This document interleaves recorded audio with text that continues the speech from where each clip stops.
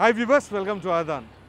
ఆంధ్రప్రదేశ్లో రాజకీయాలు వేడెక్కిన క్రమంలో మరి ఆ ప్రజలు ఏ విధంగా ఆలోచిస్తున్నారు? ప్రస్తుతం ప్రభుత్వంలో అధికారంలో ఉన్న వైఎస్ఆర్ పార్టీ పట్ల సానుకూలంగా ఉన్నారా? వ్యతిరేకంగా ఉన్నారా? అసలు ప్రజా నాడి ఎలా ఉంది అని తెలుసుకోవడానికి ఈరోజు మనం మంగళగిరికి వచ్చాము. సో ఇక్కడ స్థానిక ప్రజలను అడిగి వాళ్ళ అభిప్రాయాలు ఏ విధంగా ఉన్నాయో తెలుసుకునే ప్రయత్నం చేద్దాం. రండి. పేరండి? సాంబశివరావు.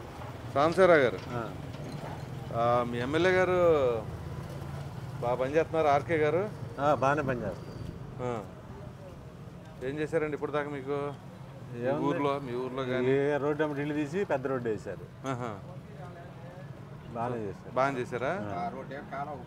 ఈ ఈ రోడ్డు అంటే ఇప్పుడు ఈ రోడ్డు అమ్మటి ఈ రోడ్డు కూడా వేస్తున్నారు. ఈ రోడ్డు అమ్మటి కూడా ఇల్లు తీయాలంటున్నారు. అది మరి ఎప్పుడు తెస్తారో తెలియదు. ఓకే.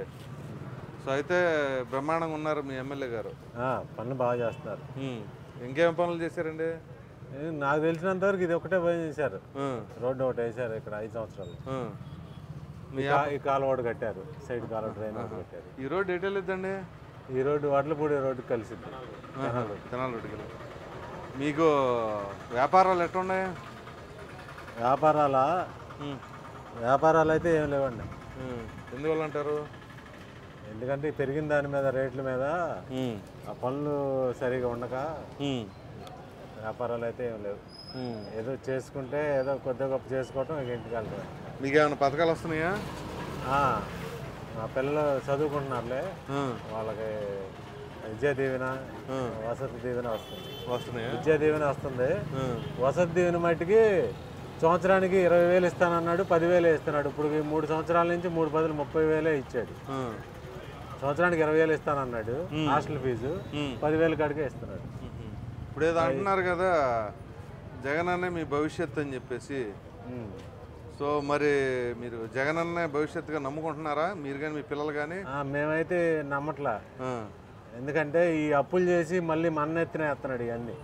ఇలా కోట్లు లక్షల కోట్లు అప్పులు చేస్తున్నాడు.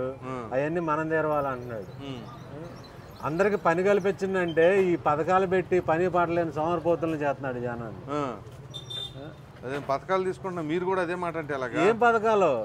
కమ్మగా అంత ముందు ముప్పై వేలు ఇరవై వేలు ఇచ్చేవాడు మిగతా డబ్బులు మనం కట్టుకొని జాగ్రత్తగా చదివించుకునేవాళ్ళు. ఇప్పుడు మన తల్లిదండ్రుల ఖాతాలో వేస్తున్నాడు. అది ఫస్ట్ సంవత్సరం ఫీజు ఇంతవరకు వేయలేదు. మూడో సంవత్సరం ఇది మా వాడు చదువుతాం. మొదటి సంవత్సరం ఫీజు ఇంత పూర్తి అవ్వాలి? ఇంకా రెండో సంవత్సరం వేయాలి మూడో సంవత్సరం వేయాలి. రేపు అయిపోతే ఆ- ఫీజులో ఆ కాలేజీలో డబ్బులు కడితేనే సర్టిఫికేట్లు ఇస్తాను అంటున్నారు. ఓకే.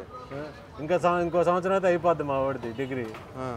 ఇంతవరకు ఒక సంవత్సరం వేసాడు. ఇంకా రెండు సంవత్సరాలు డబ్బులు వేయాలి. వేస్తాడో లేదు తెలియదు మరి. మీ సొంత ఇల్లు ఉందా మీకు? ఉంది. ఓకే. సో మీకు ఇల్లు ఉంది అన్నీ ఉంది కాకపోతే వ్యాపారం మాత్రం అంతంత మాత్రం ఉంది. రేట్లు వ్యవహారం ఎట్టుంది?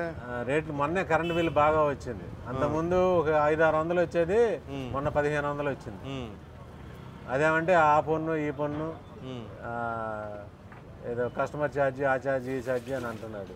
అంటే స్లాబ్లు పెట్టాడు ముప్పై యూనిట్లు ఒక రేటు వంద యూనిట్లు ఒక రేటు రెండు వందల యూనిట్లకి రేట్ వేసాడు. ఎండాకాలం కదా. ఫ్యాన్లు అవి వేసుకునే వారికి పదిహేను వందలు వచ్చింది బిల్లు. ఇప్పుడు గత ప్రభుత్వంలో కూడా పెంచారు కదా. గత ప్రభుత్వంలో పెంచినా అది ఒక పద్ధతిగా పెంచారు ఒక పద్ధతిగా ఉమ్. ఇది ఇప్పుడు నాలుగు సార్లు ఏడు సార్లు ఎనిమిది సార్లు పెంచారు అంటున్నాను నేను పేపర్లో చూస్తాను ఏంటి ఆ ప్రభుత్వానికి ఈ ప్రభుత్వానికి తేడా? మీరు ఏం గమనించారు? చాలా తేడా ఉంది. ఆ. ప్రభుత్వానికి ఈ ప్రభుత్వానికి చాలా తేడా ఉంది. ఆ ప్రభుత్వంలో చక్కగా పని చేసుకునే వాళ్ళు పనికి తగ్గ సదుపాయం ఉండేది. ఈ ప్రభుత్వం వచ్చినాక పనులు లేవు. ఆ సదుపాయాలు లేవు. ఆ జగనన్న డబ్బులు తప్ప ఈ డబ్బులు తప్ప ఆ, రోడ్లు వేయటం కానీ లేకపోతే ఏదన్నా అభివృద్ధి చేయడం కానీ ఉద్యోగాలు వేయటం కానీ ఏం లేదు. ఏం చెప్తారు మరి? ఫైనల్గా? ఫైనల్గా అయితే ఈసారి నువ్వు గెలిస్తే అందరూ అడుగు తింటామని అంటున్నాం మేము. ఓకే. రైట్. థ్యాంక్ యూ అండి.